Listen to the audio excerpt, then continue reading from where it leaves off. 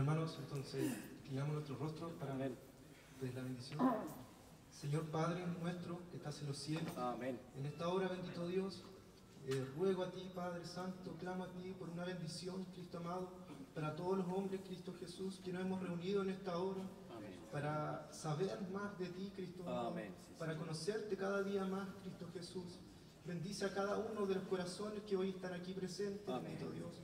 También aparta todo lo secular, todo lo que nos pertenece a tu gloria, Padre Santo, para que tu palabra, Cristo amado, entre como espada de doble filo a nuestro corazón, Cristo Jesús, y la podamos atesorar cada día, bendito Dios, y así ponerla en práctica, Jesús de Nazaret. Yo te pido, Cristo amado, que tú seas bendiciendo al que va a impartir este mensaje, bendito Dios. También, Cristo amado, provee de sabiduría, Cristo amado, de conocimiento, de inteligencia, Cristo Jesús. Porque tú eres el dador y el proveedor de todas las cosas, Cristo amado. Amén. Porque tu palabra dice que todo pro- proviene de ti, Cristo amado. Todo esto, Jesús de Nazaret, te lo pido, Cristo amado, eh, bajo la bendición de tu Hijo, amado Jesucristo, en el nombre del Padre, del Hijo y de su Santo Espíritu. Amén. y amén. Démosle gloria a Dios. Gloria a Gloria a Dios. Gloria a Dios. Gloria a Dios. Muchas gracias. Muchas gracias. Sí, adelante. Muy buenas noches, ¿cómo están? Bien. Bien, parece que se nos gastaron la garganta. Muy buenas noches, ¿cómo están? Perfecto. Prosperados, bendecidos y en Victoria. victoria. Entonces estamos en el estudio sistemático de la escritura y estamos en qué libro? Hebreos. ¿En qué capítulo vamos ahora? 8, 9, 10 y, y 11. ¿Ya? Son hartos capítulos. Pero lamentablemente nos quedó uno de la vez anterior. Y vamos a hacer un pequeño resumen porque no lo vamos a poder leer todo. Y esto es el capítulo 7, no lo pudimos leer. Y es donde el escritor de Hebreos nos dice y nos enseña que Jesucristo es superior, en este caso, al sumo sacerdote. Y el capítulo 7 nos está hablando sobre Melquisedec. ¿Por qué menciona Melquisedec? Melquisedec se menciona solamente en dos partes de la Biblia, en el Antiguo Testamento, en un trocito pequeño, y en el Nuevo Testamento, en un trocito pequeño. No hay un libro completo que hable de Melquisedec. Sin embargo, se le da una posición altísima. Tanto es así que menciona el capítulo 7, verso 1 dice, porque este Melquisedec, rey de Salem, sacerdote del Dios Altísimo, que salió a recibir a Abraham que volvía de la derrota de los reyes, y le bendijo.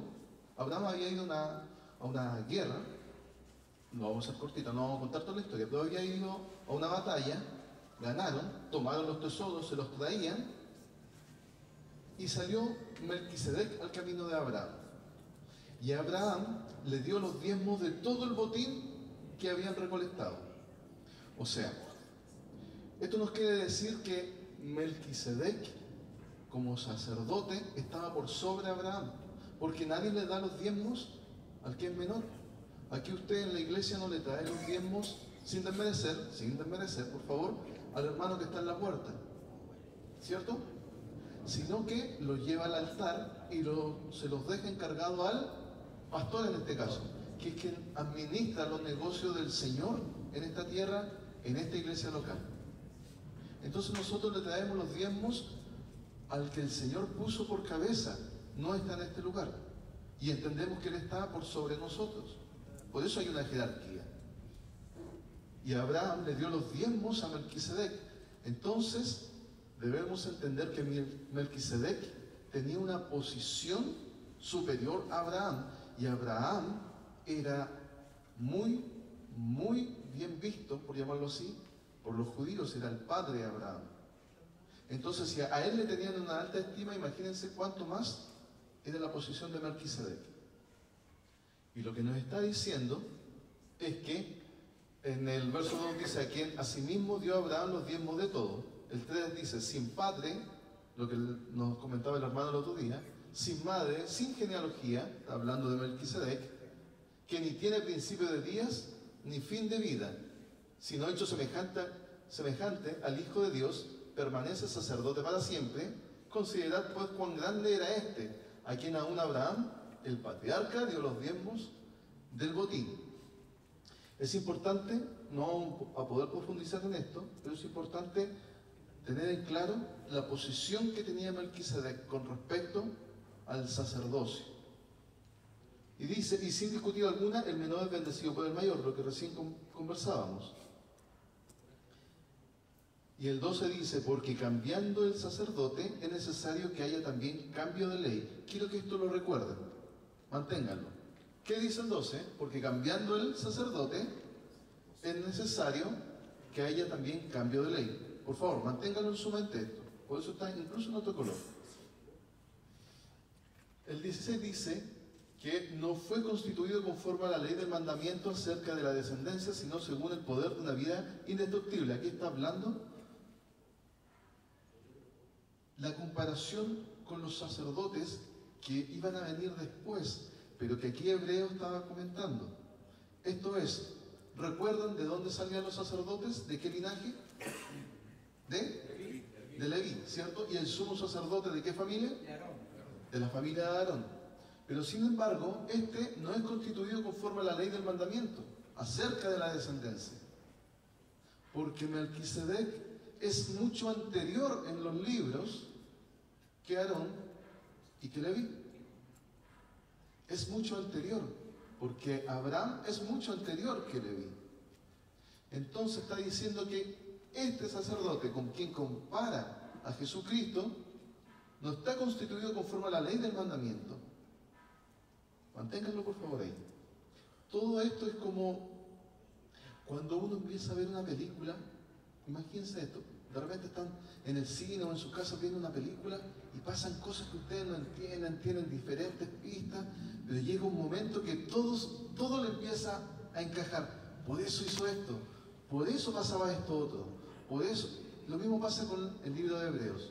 El escritor hace muchos viajes al Antiguo Testamento y en diferentes partes, tanto que a veces nos confunde. ¿Por qué habla de esto? ¿Por qué ahora menciona a Melquisedec? ¿Por qué lo hace? Vamos a llegar al punto. El 25 dice, por lo cual puede también salvar perpetuamente a los que por él se acercan a Dios, viviendo siempre para interceder con ellos. Aquí hace la comparación de Jesucristo con Melquisedec. En este caso, Jesucristo ya entendemos que es sumo sacerdote y es superior a los sumos sacerdotes, y él puede también salvar perpetuamente a los que por él se acercan a Dios. El 26 dice, porque tal sumo sacerdote nos convenía santo, inocente, sin mancha, apartado de los peca- pecadores y hecho más sublime que los cielos, un sacerdote eterno. ¿Por qué nos convenía?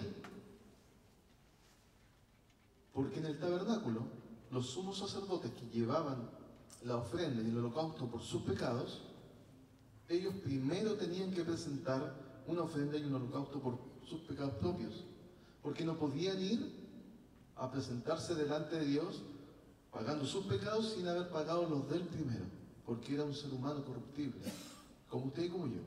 Pero sin embargo, Jesucristo no tocó pecado. Fue tentado en todo. ¿Recuerdan que lo leímos? En todo fue tentado, pero sin embargo, Él no cayó.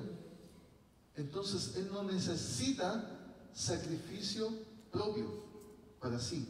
El sacrificio que hizo Jesucristo fue por nosotros, no para sí. Porque tal sumo sacerdote nos convenía. Entonces, pasamos súper rápido al capítulo 7 para ojalá que podamos comprender la posición de este Melquisedec y la comparación de Jesucristo con él. Jesús superior a la ley. El nuevo pacto, capítulos 8 al 11.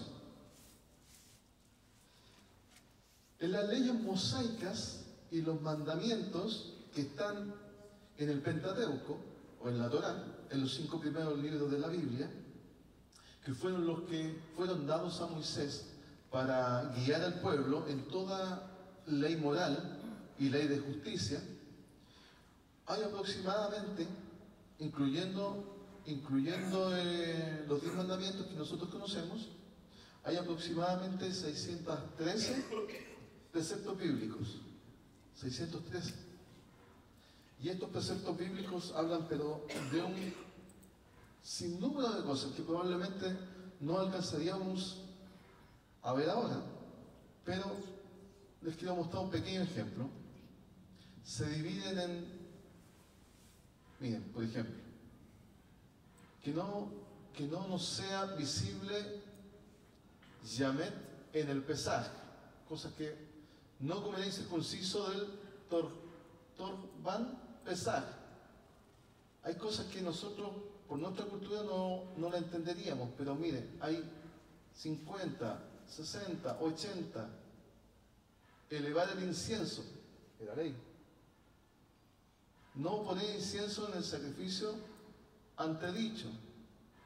Le estoy leyendo al azar. Que nos salga guardar, no comer, no rasurar el pelo. Hay parte donde dice no convivir con, con tu hija, no convivir con tu señora, no convivir con, o sea, no con tu señora, con tu señora sí, no convivir con tu hija, no convivir con tu hermana, no convivir con tu prima. Hay cosas muy específicas. ¿Qué quiere decir convivir? No es que no pueda vivir, no, tú ándate de mi casa porque no puedo vivir contigo, sino que está hablando de la intimidad. Hay un montón de cosas que parecían ser permitidas, pero hay un montón de cosas que estaban en la ley que obviamente no eran permitidas. Entonces son 613 eh, aproximadamente preceptos bíblicos. Espérenme que se me perdió el mouse. Sacar esto aquí.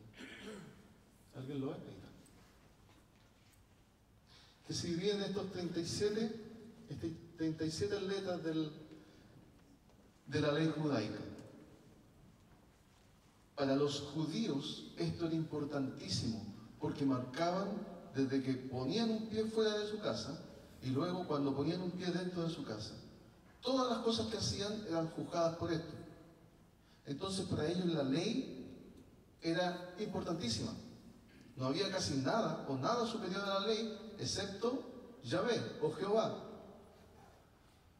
Incluso el sumo sacerdote manejaba la ley que era eh, administrada por, por Adón y, su, y toda la tribu de Leví. Ellos administraban la ley, incluso eso, pero la ley estaba por sobre ellos. Así de importante era la ley, porque los sacerdotes no podían faltar a la ley, porque si no, morían. Ahora, yo quiero hacerles una, una consulta. Hermano, usted está cerquita. ¿Puede nombrarme 10 marcas de auto? Chevrolet, Renault,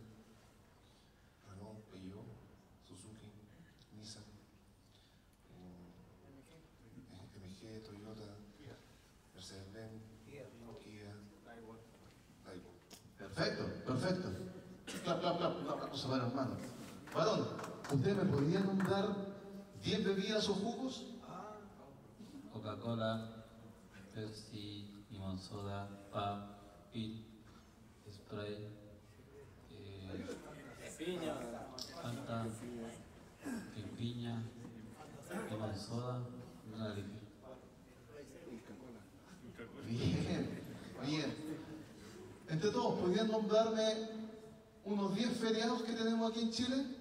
Por ejemplo, el, el 1 de enero, 21 de mayo, 25 de diciembre, 1 de noviembre, 8 de diciembre, el Día de las Carmen, 25 de diciembre de Nuevo,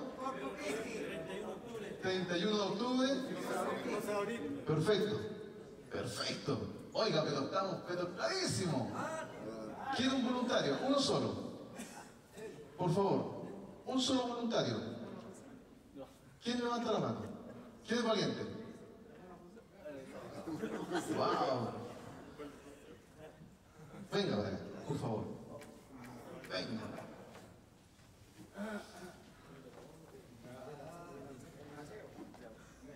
¿Me pueden contar en orden los diez mandamientos? Los que te acuerden. Uno. Amarás a tu Dios por sobre todas las cosas. Amar a tu prójimo em, no matar, honra a tu padre y a tu madre, eh, no comer, eh, amarás. Es la misma que idolatría, ¿no? Claro, si eh. Ayuden. No No lean, no lean, no lean, no lean, no lean, no lean. No No hagan codiciar. trampa, no lean. No codiciar. No codiciarás la mujer de tu prójimo. Perfecto. Gracias, Samir. Antes de leer, la idea es, ¿se fijan cuánta información tenemos en nuestra cabeza basura? O sea, perdónenme, pero ¿de verdad es importante saber 10 marcas de bebida? ¿10 marcas de auto? Y la vemos todos los días. ¿No deberíamos ver nosotros todos los días la ley del Señor? Y sabernos los 10 los 10 mandamientos.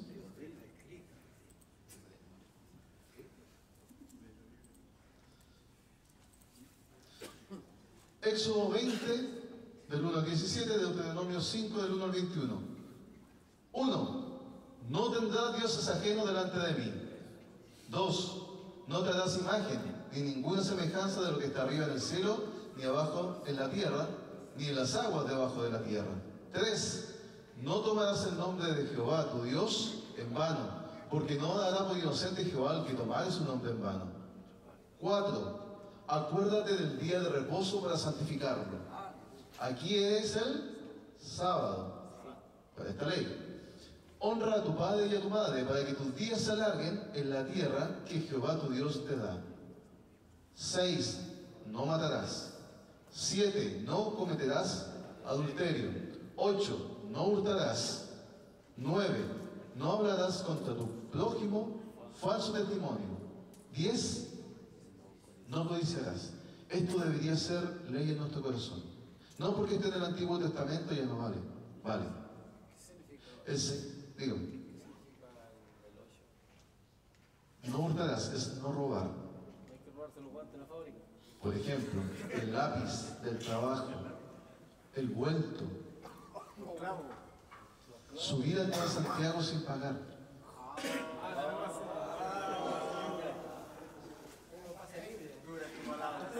No devolver el vale del casino cuando no se lo cobraron ahí arriba. ¿Te lo sigo explicando? Eso es no hurtar, no hurtarás.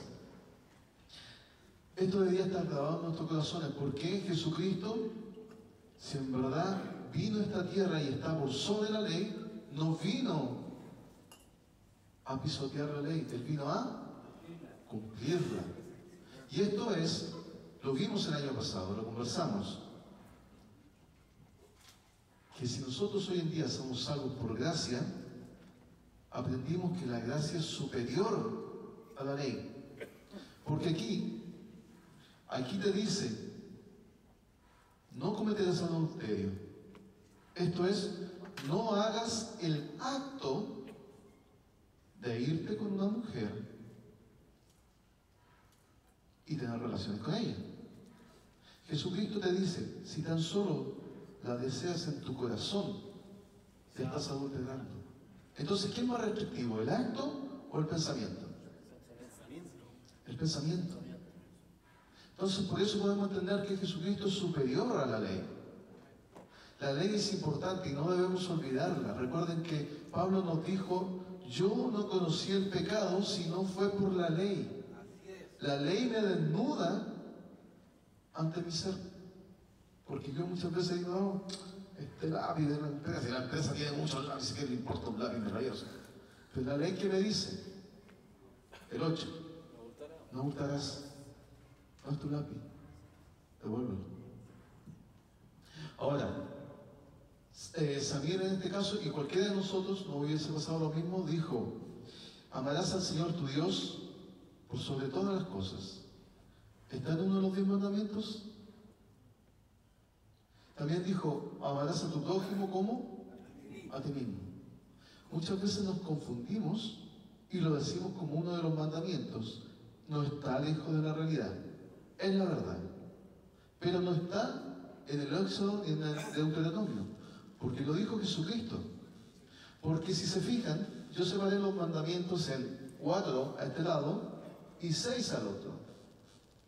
Porque los primeros cuatro están hablando acerca de amarás al Señor tu Dios con todo tu corazón y con toda tu alma y con toda tu mente. No tendrás dioses ajenos, no te harás imagen, no tomarás el nombre de tu Dios en vano. Y acuérdate del día de reposo para santificarlo, porque ese día es cuando nosotros venimos a alabar al Señor, nos dedicamos a Él. Y el otro dice, amarás a tu prójimo como a ti mismo, porque todo lo demás habla acerca de nuestro prójimo. Porque si yo amo a mi prójimo no le voy a robar, no lo voy a matar, no voy a adulterar, no voy a codiciar sus cosas. Entonces por eso Jesucristo dijo, el primer y gran mandamiento, amarás al Señor tu Dios. Y el segundo es parecido al primero, dijo, amarás a tu prójimo como a ti mismo. Y lo encontramos en este caso, por ejemplo, en Mateo 22, del 36 al 40. Entonces, cuando nosotros vemos la ley, vemos un montón de reglas, un montón de restricciones que se le, se le puso al pueblo. ¿Por qué? Porque sin ellas el pueblo hacía lo que quería. Hizo y deshizo cuanto quiso. Tanto es así que recuerden que lo conversamos, cuando Moisés fue al monte, ellos no nos, oh, lleva media hora y arriba, no, nos desesperamos. 35 minutos, no, ya, somos, hagamos un becerro. Y Aarón se entregó la primera, ni siquiera dijo, no, ¿sabes? no, ya tráiganme oro y hagamos el becerro. El pueblo era así. Entonces el Señor dijo, no, a este pueblo hay que ponerle orden y hay que ponerle reglas. Hebreos capítulo 8, el mediador de un nuevo pacto. Dice, ahora bien, el punto principal de lo que venimos diciendo es que tenemos tal sumo sacerdote, el cual se sentó a la diestra del trono de la majestad en los cielos, ministro del santuario y de aquel verdadero tabernáculo que levantó el Señor y no el hombre. Les voy a hacer un resumen de esto, por, por la hora. Me avisa Mauri, por favor, para no pasar. Vamos a hacer un resumen de esto por la hora. Eh, y lo vamos a continuar el próximo martes. Pero, lo que nos está diciendo el escritor de Hebreos es que Jesucristo es sumo sacerdote de aquel verdadero tabernáculo que levantó el Señor y no el hombre. Recuerden que el tabernáculo lo levantó Moisés por orden del Señor. Pero no fue que le dijo, Moisés, hacer un tabernáculo. Bien, Señor, yo lo hago. Ahí tú, ve cómo lo hace. Ok, Señor, yo, a mí se me ocurre, tengo una idea, voy a poner unos toldos y... Perfecto, por eso te elegí a ti, Moisés. No. Dios le dijo cómo hacerlo, las medidas, los materiales, incluso los colores, todo. Dios le dio todas las instrucciones a Moisés. Y le dijo, hácete el tabernáculo de esta y de esta manera. Y en el tabernáculo los sacrificios van a ser de esta y de esta manera. Todo tiene un orden. Y todo tiene un significado. Entonces vemos que el 8 dice, de aquel verdadero tabernáculo, significa que el tabernáculo que estaba ahí no era el verdadero. Jesucristo ascendió al verdadero tabernáculo. Y no es que el tabernáculo anterior no sirviera. Lo que nos estaba diciendo es que nos está mostrando el paralelismo, la comparación de ese tabernáculo en esa dispensación para lo que nos está pasando hoy en día en nuestra dispensación. Dice, pero ahora tanto mejor ministerio es el suyo, cuanto es mediador de un mejor pacto establecido sobre mejores promesas. El 9 dice, no como el pacto que hice con sus padres el día que los tomé de la mano para sacarlos de la tierra de Egipto, porque ellos no permanecieron en mi pacto y yo me desentendí de ellos, dice el Señor. Es fuerte. También se los voy a resumir. La historia pasó así. Dios creó el universo con la sola orden de su voz. Dijo, hágase y se hizo. Pero sin embargo, al ser humano lo hizo de una manera distinta. Se tomó su tiempo su barrito y formó al hombre. Y quedó espectacular. Y dijo que me quedó tan bien que le voy a hacer una mujer. ¡Pah! Le sacó una costilla e hizo una mujer. Y empezó la humanidad con un propósito. La humanidad cayó una y otra y otra vez. Aún así con un propósito. Una de las dispensaciones terminó en el diluvio, cuando murió toda la humanidad excepto la familia de Noé, porque él creyó. Él creyó en lo que el Señor le dijo. ¿Usted cree lo que el Señor le dice? Perfecto, hagas un arca. Hagas un arca. Esto es, lleva a su familia con usted. Porque se viene otro diluvio. No como ese. Viene la segunda venida. Y está pronta. Estamos en los tiempos. Entonces, la humanidad cayó una y otra y otra vez. Y, Jehová dijo, ¿saben qué? Ustedes se están mandando caída tras caída. Vamos a hacer algo. Voy a hacer un pacto con ustedes. ¿Qué les parece? Sí, dijo el pueblo, hagamos un pacto. ¿Ok? Yo los voy a proveer, los voy a proteger y los voy a bendecir. Bien, dijo el pueblo, sí. Yo voy a hacer todo eso. Ese es mi trabajo. Y su trabajo va a ser, sí, dijo el pueblo, ¿cuál? Ustedes tienen que ser perfectos. Oh, ya, dijo el pueblo, sí, vamos a ser perfectos. Sí, tienen que ser perfectos. No pueden matar, no pueden codiciar, no pueden robar, no pueden adulterar. Van a cumplir 613 leyes, eh, tienen que sacrificar animales. tienen- que ser perfectos. ¿Qué les parece? Pero yo los voy a proveer, proteger y los voy a bendecir. Sí, dijeron al pueblo, "Ey, si no cumplimos, no mata. No hay problema, nosotros vamos a cumplir. Ahí vienen, ¿qué pasó? No cumplieron. Nosotros humanos somos ten- tendientes a caer. Somos porfiados. Y pasó toda esa dispensación. Entonces el Señor dijo, miró y dijo, ¿saben chiquillos? No resultó. No, no resultó. Así que vamos a hacer un nuevo pacto. Y entra el mejor pacto. Y entra el Hijo. Entonces, les dice, yo los voy a proveer, los voy a proteger y los voy a bendecir. Ese va a ser mi, tra- mi trabajo. Y con eso los cubro por completo a ustedes. Y el pueblo dijo, bueno, ¿y ahora qué tenemos que hacer? Esto es una alegoría, lo estoy inventando. ¿Pero qué tenemos que hacer ahora entonces? Y el Señor les dijo, ¿saben qué? No tienen que hacer nada. Mi hijo ya lo hizo por ustedes. Mi hijo ya se sacrificó. Mi hijo ya derramó su sangre. Mi hijo ya pagó el precio por ustedes. Aún así yo los voy a proveer, los voy a proteger y los voy a bendecir. A pesar de las cosas que hagan, ustedes solamente tienen que hacer una cosa ahora. Y lo revisamos la vez anterior. ¿Cuál es? Creer. Creer en el nombre del Señor. Creer en el Señor Jesucristo, que es nuestro Dios y Salvador. Si usted cree, verá la gloria. Si usted cree en el Hijo del Hombre, en el Hijo de Dios, será salvo. Al decir nuevo pacto, ha dado por viejo el primero, y lo que se da por viejo se envejece, dice el 13. Está próximo a desaparecer. Cuando el escritor de Hebreo estaba escribiendo esto, el templo todavía estaba en pie. Entonces entendemos que al decir nuevo pacto está hablando del pacto de Jesucristo, el que ya había hecho y ha dado por viejo el primero. ¿Cuál era el primer pacto? El de Moisés con Dios y el pueblo, las leyes. Y lo que se da por viejo se envejece y está próximo a desaparecer. El escritor de Hebreo ya estaba profetizando lo que se había dicho, de destrucción del pueblo, del templo, perdón. Porque si no hay templo, no hay tabernáculo, ¿dónde van a ir a hacer sacrificio? No iban a poder, ni iban a tener cómo.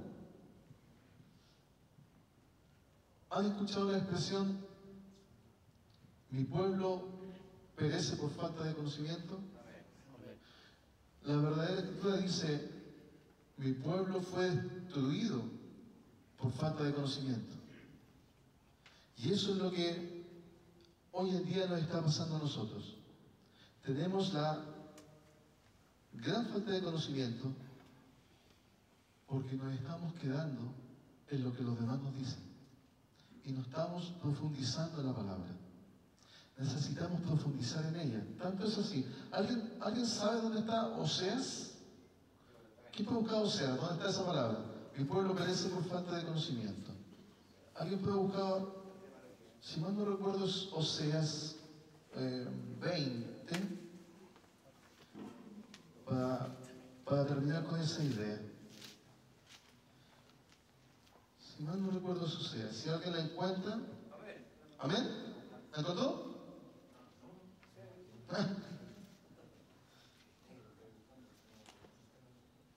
Dice, aquí. O sea, cuatro, sí, tiene razón. ¿La puedo leer, por favor, Samuel, ya que estás aquí? Por favor, Samuel. Mi pueblo fue destruido porque le faltó conocimiento. Por cuanto desechaste el conocimiento, yo te echaré del sacerdocio y porque olvidaste la ley de tu Dios, también yo me olvidaré de tus hijos. Wow. ¿Se dan cuenta? ¿Es juego? No. No es juego. ¿Alguien puede buscar Génesis 4, versículo 1? Génesis 4, versículo 1. Voy a leer de nuevo Oseas. Mi pueblo fue destruido porque le faltó conocimiento. Por cuanto desechaste el conocimiento, yo te echaré en el sacerdocio. Y porque olvidaste la ley de tu Dios, también yo me olvidaré de tus hijos. ¿Tiene el Génesis 4? Por favor. El uno. Conoció Adán a su mujer Eva, la cual concibió y se dio a luz a Canaí, a Caín, y dijo por, su- por voluntad de Jehová he adquirido varón. Perfecto. Lee las cinco primeras palabras que están ahí. El puro principio está en coma. La El principio. conoció Adán a su mujer Eva. Quiero hacer una comparativa. Mi pueblo fue destruido porque le faltó conocimiento. Si se fijan en Génesis dice, conoció a Adán a su mujer Eva. ¿De qué conocer se refiere ahí? Relaciones sexuales, pero más allá que eso, nosotros lo entendemos como relaciones sexuales. Intimidad. Intimidad. La palabra conocer tiene varios significados y muchas de esas es intimidad. Mi pueblo fue destruido porque le faltó intimidad con el Señor. Mi pueblo fue destruido porque le faltó intimidad en tu habitación.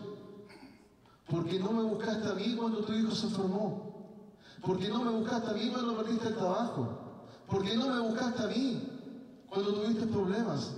Porque no me buscaste a mí cuando estuviste bien. Porque no tuviste intimidad conmigo. Por eso el pueblo fue destruido. Porque le faltó intimidad con el Señor. Porque podemos tener toda la sabiduría, podemos tener todas las letras, podemos tener toda la información. Pero si no tenemos el conocimiento, la intimidad con la palabra, con el Señor, no voy a poder nunca llegar al lugar santísimo. Mi pueblo fue destruido. ¿Por qué no buscamos la intimidad con el Señor? En tus momentos de soledad, busca en tu trabajo un momento para adorarle al Señor. Entrégale tu día, tu vida. No te levantes y te vayas de tu casa sin orarle al Señor. Entrégale tu vida a Él cada día. Porque no sabes cuándo va a ser el último. Y tal vez te fuiste sin tener intimidad con el Señor. La única forma de conocer a tu esposa y saber todos sus secretos es tener intimidad con ella. Y no estoy hablando de relación sexual, estoy hablando de una unión única que nadie más en el mundo debería tener con ella. Es la misma relación que usted debe tener con el Señor. Aunque Dios sepa lo que te está pasando, usted cuénteselo, usted dígaselo, usted busque a Él, aunque Él no sepa. Él quiere como Padre que usted le cuente. Hermanos, lo vamos a dejar hasta acá. Vamos a continuar el próximo martes. Y los invito, por favor, a buscar la intimidad con el Señor. Que Dios les bendiga. thank you